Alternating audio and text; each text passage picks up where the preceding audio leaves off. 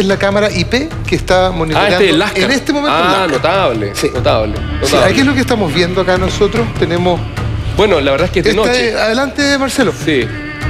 Este es el. eh, por aquí tan Sí. cerca no se alcanza a ver, digamos, pero esto, a lo mejor si la luz puede. Claro, eh, la, la- la cama está- la ca- la cámara está orientada a, a- al- a la cima del volcán Ajá, y trata de detectar algún tipo de anomalía que sea visual, porque hay- lo visual te ayuda y se complementa con lo instrumental. Eh, particularmente de noche puedes ver... eh, ¿Este acá una- el cráter?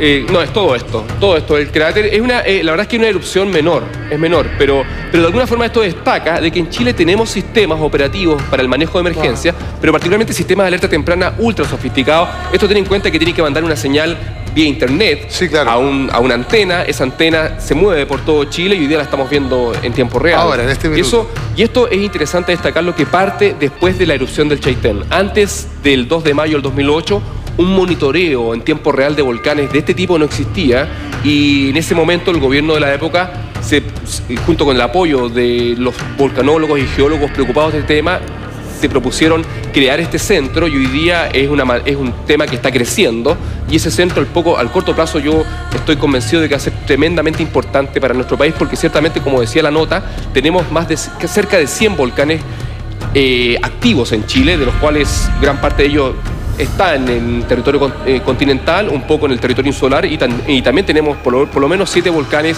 en la Antártida. Entonces, el tema volcán es un tema que nos va a acompañar por siempre. Ahora, viendo esta foto aquí, te vuelvo a preguntar, eh, pa- para, interés de nosotros y para no perdernos datos, tantos datos, digamos. ¿Qué significa específicamente que tenga ranking de peligrosidad 17? La, la ¿El peligrosi- Lascar? la- la peligrosidad va asociada a si tengo o no eh, niveles de exposición o vulnerabilidad física cercana al volcán. Los el, ranking de peligrosidad va asociado a qué tan, tan- qué tan riesgoso es un volcán. Por ejemplo, si un volcán entra en actividad O sea, donde no tengo este- a nadie alrededor, Perfecto, perfecto. es un volcán, es, una, es un evento natural extremo, un evento excepcional, pero no es peligroso porque no tengo a nadie en que afectar. Pero si entra en actividad el volcán Villarrica, que tengo a Licanray al otro lado, Pucón, Villarrica y una serie de asentamientos rurales dispersos, ciertamente es un volcán muy peligroso porque va a haber afectación.